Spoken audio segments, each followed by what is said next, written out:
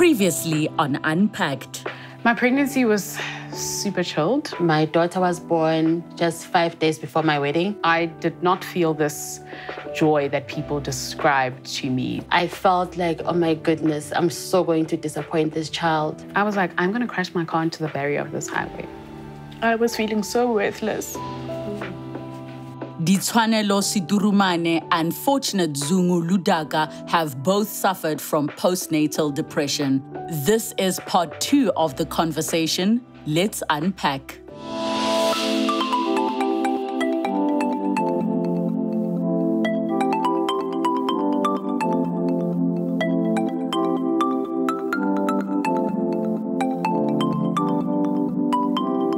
I think that's the worst part is that, and I've heard so many mothers say to me that, like, the fact that so many women have been giving birth for centuries constantly plays in your mind. Yeah. And then you think, you know, what's what's wrong with me that I can't do it? Or you're like, everybody goes through this, they're just quiet about it. Yeah. Yeah. Do you think that there's a type of a secrecy within um, women being mothers, with them sharing the realities of what happens? 100% yes. Yeah. Because only after I went to see my therapist, she actually wrote my mom an email mm. to tell her this. And then she came out with the news that, yeah, this does happen. I was like, Wow. Hmm. Wow. you know, I think I think it's it's a secret that's hidden by shame. Hmm. Yeah. Because women are strong and hmm. You know, we we can birth, we can create whole humans and birth them and keep them alive from our bodies. So, you know, why why would you be sad about wanting to end your life? It will pass. You you said you were angry. What were some of the other emotions that you were experiencing? Um, disappointment. I don't know if exhaustion is an emotion, but um, I was yeah, I was feeling let down. I was feeling let down by everybody, by myself. As in like them showing up for you? Yeah, yeah. Them showing up for me and the whole lockdown thing. I don't know who to blame for that. Um, yeah, people. Yeah, people were weird. They didn't phone to ask about me. They they phoned to ask about my child. I actually told them, "Can you stop that?" I'm so, I so relate to you. I've told everybody that they must buy my child a cell phone and call him on the Same. I mean, like, the, and and I get it. It's it's so oh man, like my, my heart for you right now is just because for me it's still so fresh. Yeah. And I cannot imagine those how alone you must have felt. Um, was there ever a point where you thought I actually need to just call my therapist because I think there's something not right? No, I was even ashamed to phone her. Hmm. And I told her this. She was like, it's her job, you know. And I'd been with her for so long, I want to say two years hmm. before that, that I shouldn't be feeling shameful to go see her. Why do you think you felt ashamed? I think it's because I also wanted to portray this I'm fine, I'm strong, um, I can do this to everybody, even to my therapist. Yeah. When did you start experiencing feelings that were like, this is not okay? Um, I would say soon after the child was born, like almost immediately. Um, at first, it was feeling of disappointed, disappointment in myself. Um, that, of course, um, I'm unemployed. The father of my kids is unemployed. Two kids. Um, so there was that disappointment, but gradually it built up to depression. And um, like I mentioned, I've went, I've been through a series of traumatic events in my life. So I thought there's nothing special about this one. You know, I'll be okay. But I then started feeling very suicidal. Um, and I didn't really want to die. But I was so overwhelmed. Um, like Dee mentioned, the baby wasn't sleeping. She was crying all the time. Um, like literally, when I had to take a bath, I would make sure like the minute I put her on the bed, I'm like in and out of the bath because she wasn't sleeping. So I was exhausted. Um, I felt like a failure as well. Like this is not gonna work. And then it started becoming thoughts of, okay, how do you do this? How do you end your life? Um, I remember one time I locked myself in the toilet. Um, you know, at the location we have toilets outside the house. Um, and then my husband was like, "What is wrong? What's wrong with you?" And I told him like, "I want to kill myself, but I don't want to. But the feeling and the everything in me says do it." Um, there's a railroad, uh, a rail track um, close to where we stayed. So I was like, I feel like if I don't lock myself into this toilet, I'll just go lie there, and the train will just finish it off. Um, he then spoke to his father, who then came and fetched me um, and took me to Pretoria. But I think days later, I overdosed on pills. Um, I remember um, gaining consciousness, um, and I was being put in a in a in an ambulance, being taken to hospital. So I was um, coming in and out of consciousness, and then I got there. They did the whole draining thing, and luckily they said um, it's nothing that could take my life, but it will damage me somehow. So it's the whole battling of emotions to that point where I'm like, I'm literally doing this now. Yeah. How how did your depression manifest itself? I know we're speaking a lot about the feelings, but um, what are some of the things that you would do or not do? So I'll give an example. Um, I've heard stories of women who will say when they were suffering postpartum uh, depression that their child would just cry and they would just block the sounds out, or they would fantasize about just not having a child anymore. You know, so how did yours manifest itself? Mine was that I couldn't embrace my daughter.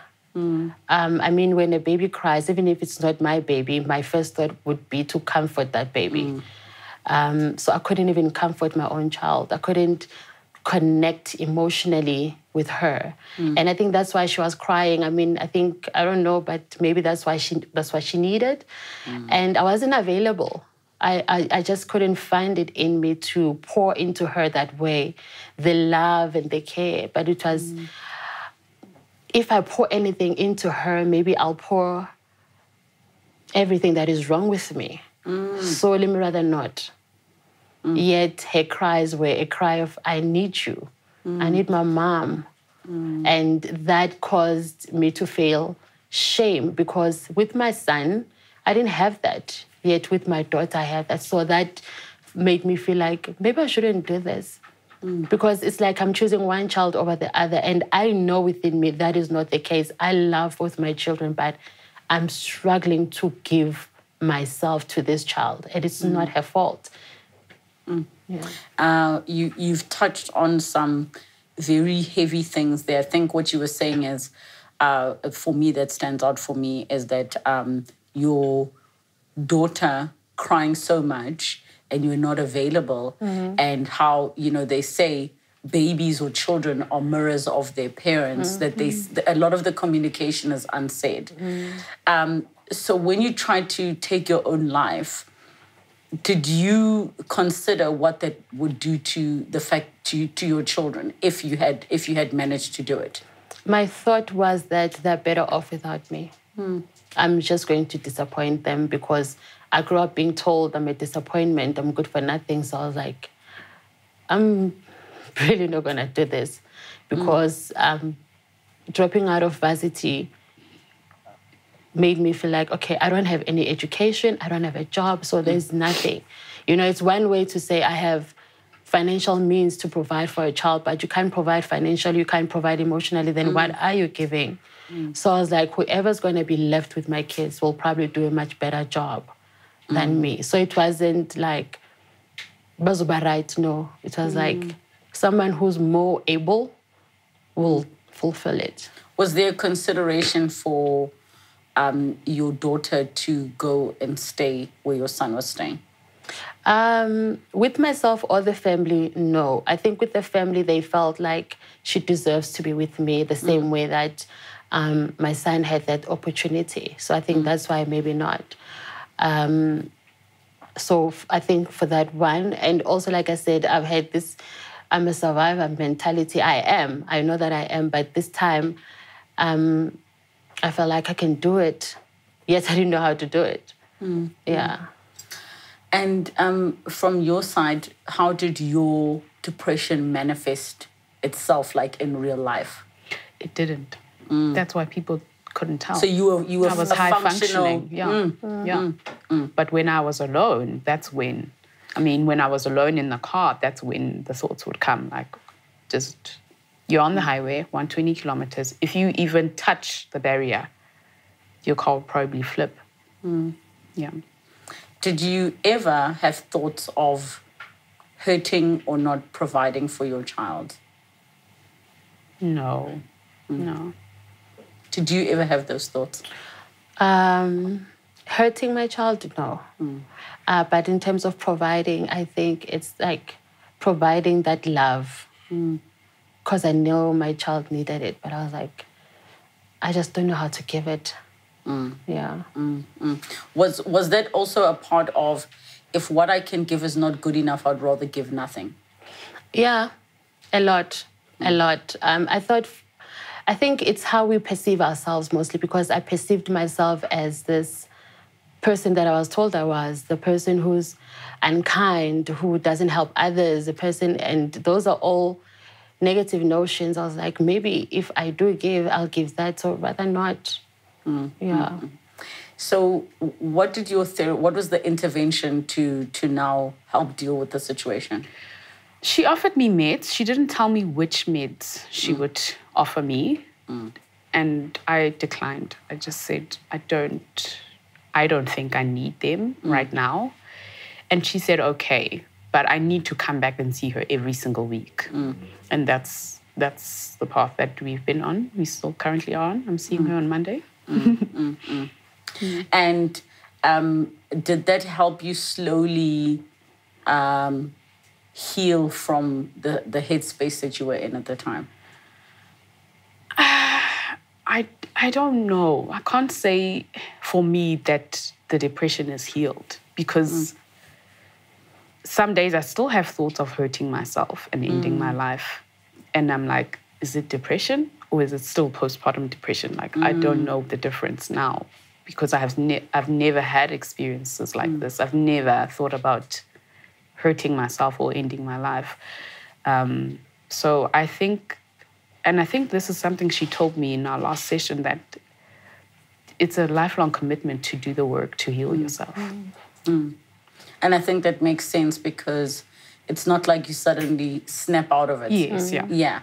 But have is are you feeling better? I definitely think I am feeling better, yeah. The mm. tools that she has given me when I do use them mm. um, have helped, yeah. What are some of the tools that you are using to help you cope better? Journaling, mm. yeah. Journaling to me is like therapy without the therapist there, yeah. What's your relationship with your daughter like now? My son. Your son, sorry. See, now I'm confusing girls and boys. Yes, with your son. it's stunning. Mm. Yeah. Mm. Um, I love him so much. I'm obsessed with him. He's obsessed with me too. Mm. Yeah. I wouldn't change it for the world. Do you still feel guilty? Yes. Yeah. What What are you feeling guilty about? I mean, I'm a present mom. I know that for for sure. Um, I make a mental note to spend 15 minutes with him without my phone there. Um, but I feel guilty about providing the best for him. You know, I think back on the things that the opportunities I had in my childhood, and I, I mean, it wasn't like a a great childhood, but I had good opportunities mm. that I made use of, and I would like to provide even more for him. Mm. And sometimes I just don't know how I'd be able to do that, and I mm. feel terrible about that. It, it's a tough one because it's also kind of subjective. You know, like how you measure yourself as I'm doing a great job. Mm-hmm. Or maybe you can tell us, like, have you ever had a moment where you're like, I'm a great mom, actually? Yes. So you do have the moments. Yeah. Okay. And are you balancing those moments with the times that you do feel like you're not you're, you're not doing as as well as you could be doing? I think I struggled the whole of the first year because mm. he's 18 months now. And now that he's a toddler, I'm like, no, I'm doing a good job. I've, I've got this. Like, I can do it. I am doing it. Yeah. And for you, Um, I think my relationship with my daughter is probably one that is a symbol of how one puts in the work and you get the benefits. Um, maybe we can use this opportunity for you to tell us how you slowly climbed out of the space that you were in. so I, I didn't get diagnosed, but I mean, it was obvious that I, I attempted suicide, so there was something wrong. Mm. So the following day, I went and saw a social worker. Mm. At this time, I think my daughter was about six, seven months. Mm. Um, and when we had a great conversation, and in the whole conversation, we really unpacked my whole life and how my whole life has led up to this point of me trying to do this. And of course, there was that shame of not being successful in the suicide because I mean the shame now of depression because it is a, it is stigmatized. Um, but I made a decision that day, and I was like, okay, the good thing is that my daughter's still a baby.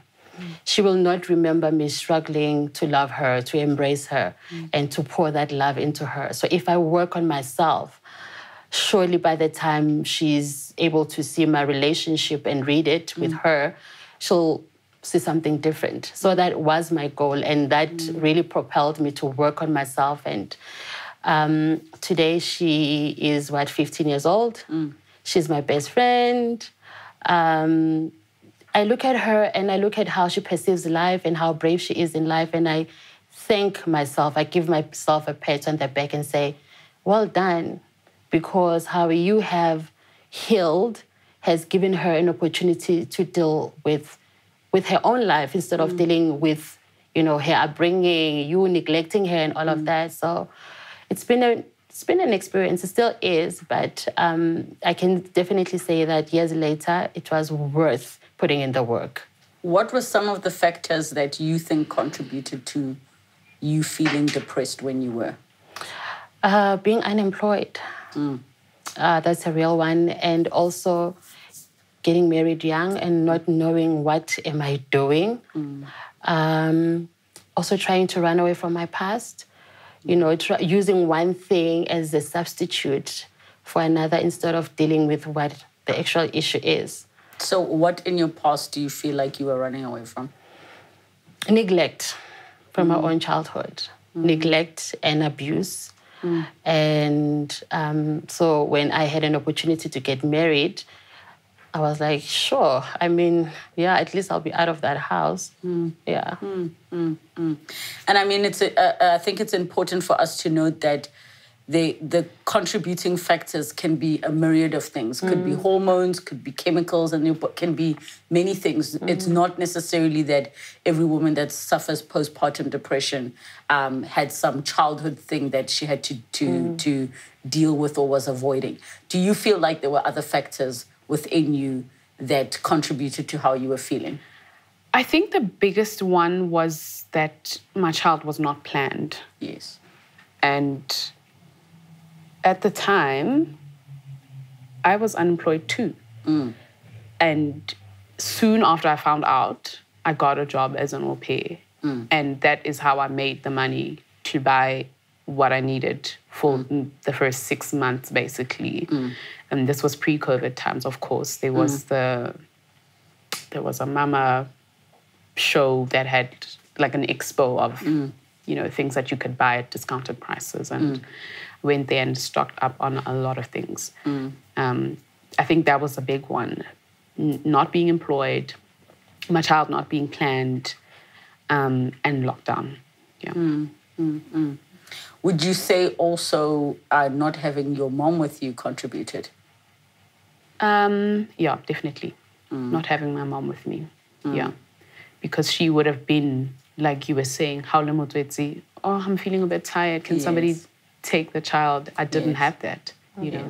Yeah. And I mean, mothers are encyclopedias of of experience and information that no parenting book is gonna teach you or, or show you or anything like that. So now looking back at the postpartum depression, what do you think um, people should know uh, about your experience that can maybe highlight something that they could recognize and go, oh my gosh, I'm, I also am going through this.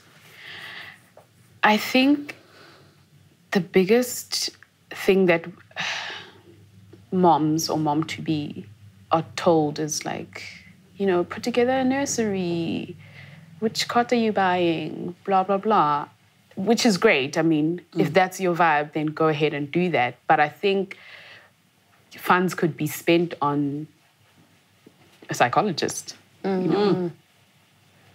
be- because when you need her after giving birth, she's still going to be there. Mm.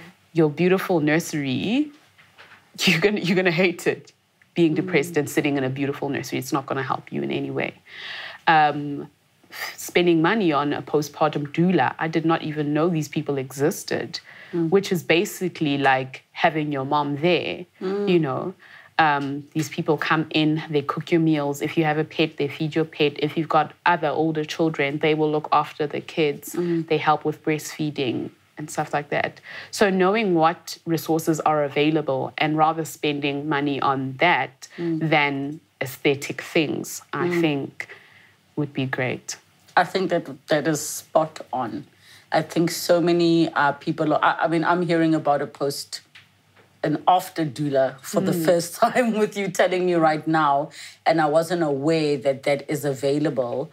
Um, and I think what you were saying about, you know, possibly redistributing your funds Yeah. to more support and less about what looks cute. Yeah. Because I know we get very excited about things that look cute, but in real life, on a day to day, you might need other things more than that. Yeah, and I mean, your child's probably not going to be in that beautiful nursery until they're seven or eight months old. Yes. So, Yeah, yeah. Mm. And what can we take from your story that, you know, can assist somebody watching? I think since my child is older, is um, put in the work. Um, it may take one day to, you know, give you so much trauma, whatever it is that you go through as an individual, but it will take you a couple of years to overcome it. Um, I of, often look at depression because I've had a couple of incidents where I've like had to look eye to eye with my depression, and I tell myself that I'm like a, pa- a person who's an AA, you know, who's um, recovering from alcohol or any other mm. addiction. Mm. Depression is not different. So I need to be kind to myself and understand that it's it's an everyday work that I need to mm. put in and sometimes it's important to pull yourself back and remind yourself that I'm, I'm also human. Like, this is another human. I have no manual in how to raise another human. So, being kind to myself and really put in the work. Um, I tell my kids that I'm sorry when I feel like I've done wrong because I don't want them to be parents that will resent themselves. I want them to know that, okay, mommy made mistakes, mommy is sorry. Um, when mommy's not okay, mommy takes time off and maybe visits friends and you know pulls away from us for like a weekend because mommy's not okay. So it's also being your own support system, not expect, not waiting for validation, especially in the black community because I want someone to say, oh, fortunate you're depressed and give me that ticket. Then I can say, oh, let me take care of myself. But when I see the things that I think, no, I haven't been happy for a while. Mm. This is not okay. It's okay for me to seek help. It's okay for me to go to that clinic and say, I'm not too sure if I'm depressed or not, mm. but I think I might be. Yeah.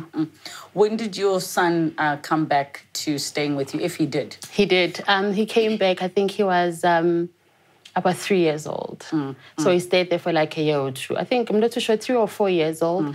And um, I'm grateful that they did that for me because I was able, my son, I think if he stayed with me, he would have also got to experience this mother was not there. Mm. Because I mean, I was sad all the time, I was crying all the time. So he would have had a mother who was crying all the time. Mm. So it did him good. Um, to to sort of protect him. So he came back, and um, yeah, I think they're wonderful kids. They're teenagers. So mm. yeah.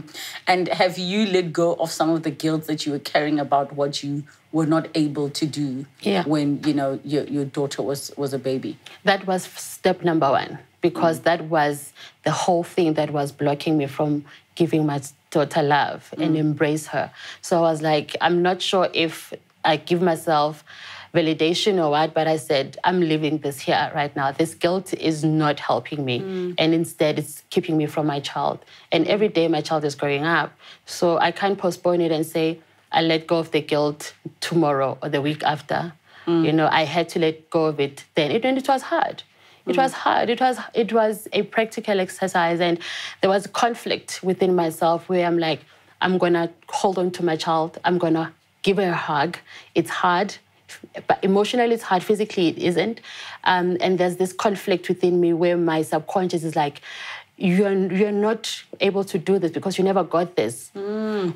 You know, mm. you need validation to do this. And I would tell myself, I'm giving this because I'm doing this for my daughter. And mm. I'm glad I did. So where are you today, Fortunate? Mentally, emotionally, all of that. I'm in a great space. Um, one thing that they told me um, when I overdosed, the lady said to me, like, fortunate, the fact that you've tried to take your life means that you have a problem. So just keep inside of where you are. So I keep inside of my mental state every day. When I wake up, when I go to sleep, I make sure that I know where I'm at. So if I need to to get help, I don't have to wait till I'm drowning to get the help. Um, I'm, I think I'm a great mother. I'm a single parent. Um, got divorced uh, from my kid's father, got married, got widowed. Um, so I'm a single parent, and it's important for me to make sure that I take care of myself, especially mentally, because um, I think I'm the only parent that my kids model in terms of how you deal with life after so many incidents. So it's important that I um, keep that in check.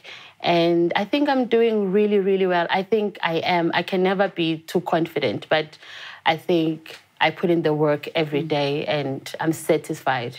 Yeah. And where are you today? I read something the other day that said, "I am where my feet are," mm. and that's that's how I am. Like mm. today is a good day. I'm going to take it in its strides. Yes. If tomorrow is not a great day, I'm going to deal with that. Mm.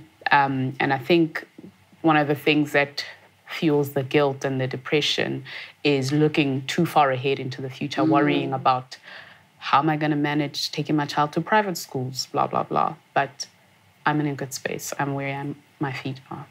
Ladies, thank you so, so much for joining me today and just for being so open about what I consider such a silent suffering that so many women go through. And I hope that, um, you know, there are women, mothers that are watching that can take something out of this, that they're not alone, which is the biggest thing, but also that they're able to go and find the help and uh, to reach out where they can. Thank you so much for joining us. Thank you. Thank you. Hashtag unpacked with Relebogile. Thank you so much for joining us and for engaging in such a big and important conversation. Mothers, sending so much love and light to you. You are doing one of the hardest jobs in this world. Do not suffer in silence. Seek out the help, and I hope you're able to take something out of the experiences that were shared today. But also pat yourself on the back. You're doing well. Many of you are doing the absolute best that you can. Thank you so much again for joining us. Have a good night. Next time on Unpacked. I had my uncle, my mother passed away. Mm. So I had to go and stay with my uncle. He already told me that what are you going to do in Brazil? You are going to fetch the stuff to bring it to South Africa. And then the trouble started there. And then police came unto me. They said, We got the cocaine and it's the real one. You are going to prison.